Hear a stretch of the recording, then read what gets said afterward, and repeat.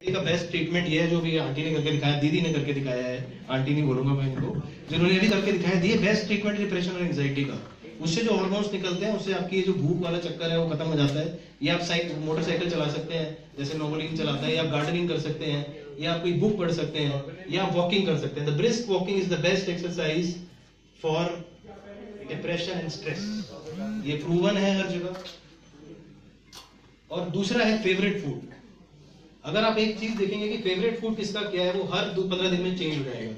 एक आप एक्सपेरिमेंट घर पे कर सकते हैं कि रोज आपको आइसक्रीम पसंद है ना, रोज आप आइसक्रीम खाओ, चौथे दिन आप नहीं खा पाओगे। आपका मन नहीं करेगा, आपको अच्छा नहीं लगेगा वो। एक आइसक्रीम से आपको अच्छा नहीं लगेगा, आपको शायद दो आइसक्रीम खाने से वो अच्छा लगेगा जो पहले एक आइसक्रीम से अच्छा लगता है। और उसके एक हफ़्ते बाद आपको तीन आइसक्रीम चाहिएगी, वही आपको अच्छा लगने के लिए, वही हॉर्मोन्स बनाने के लिए जो पहले बन रहे थे। और पंद्रह दिन बाद आप बंदी कर दोगे, यार इतना सारा खाना नहीं है, ये अच्छा ही नहीं है। तो कोई भी फेवरेट फ़ूड नहीं है। फेवरेट फ़ूड क्या है? जिसको आप धोखा खाते हैं। वो फेवरेट फ़ूड है। ये सर्जरी के बाद ऑटोमेटिक हो जाता है। सारे फ़ूड फेवरेट हो जाते हैं। क्योंकि सभी आप थोड़ा थोड़ा खाते हो।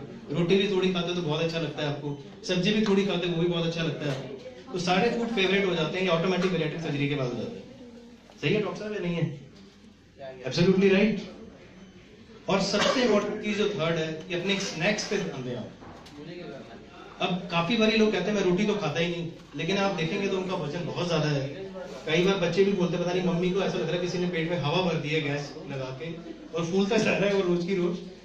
उनको भी हँसी आती है मेरी हँसी आती है, लेकिन हंसने की बात नहीं है। इसमें थर्ड चीज़ जो इंपॉर्टेंट है, वो है स्नैक्स एक रोटी जो 70 कैलोरी की है, उसके मुकाबले में एक नान 317 कैलोरी का है। सब कैलोरीज का खेल है। जितनी ज़्यादा कैलोरीज आप लेंगे और उतना स्पेंड नहीं कर पाएँगे तो वेट बढ़ जाएगा, चाहे सर्जरी हुई है, चाहे नहीं हुई है। तो एक एक रोटी साढ़े चार, एक नान साढ़े चार रोटी के बराबर हुआ। फिर एक दाल और एक दाल मखनी, दोनों में डिफरेंस है थ्री टाइम्स का। मतलब वो डेढ़ सौ कैलोरी का है, साढ़े चार सौ कैलोरी का है।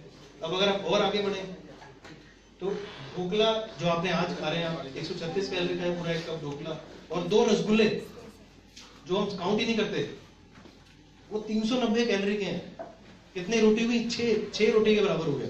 एक रसगुल्ला तीन रोटी के बराबर है। तो अगर आप किसी पार्टी में गए और आपने दो नान, एक दाल मखनी, दो रसगुल्ले खाए तो आपने बारह या तेरह रोटी के बराबर खाना खा लिया।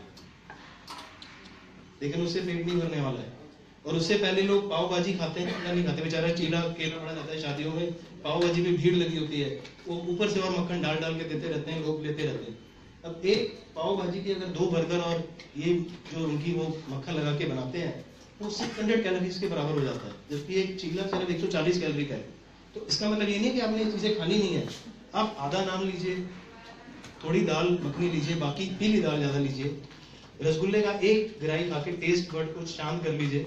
और एक चौथाई या आधा आप पाव खा लीजिए और एक चीला खा लीजिए। सिर्फ़ छह सौ, सात सौ कैलोरी जाएँगे। मैं ऐसे ही करता हूँ शादियों में करके मेरी कोई सर्जरी नहीं हुई है, लेकिन अगर मेंटेन करना है तो आपको देखना पड़ेगा। अभी किसी ने मेरे से पूछा, कल सर मेरी सर्जरी को ना